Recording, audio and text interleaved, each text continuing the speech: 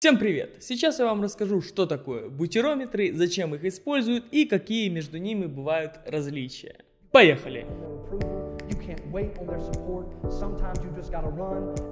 Бутерометр, также известный как жиромер, представляет собой стеклянный цилиндр, который плавно переходит в стеклянную плоскую трубку, на которой, кстати говоря, есть деление и шкала, с помощью которой определяют жирность в молоке, сливках и пахте.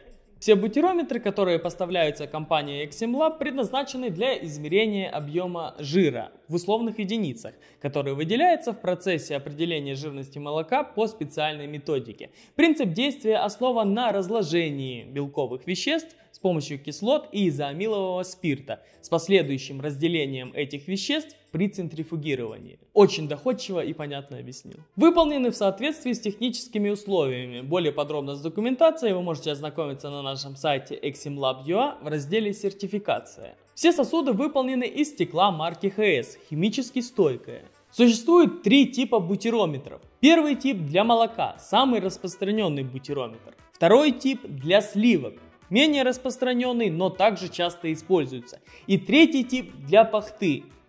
Что такое вообще пахта? Кто-то из вас знает? Пахта – это обезжиренные сливки, побочный продукт, получаемый при производстве масла из коровьего молока. Как вы думаете, насколько часто используется такой бутерометр?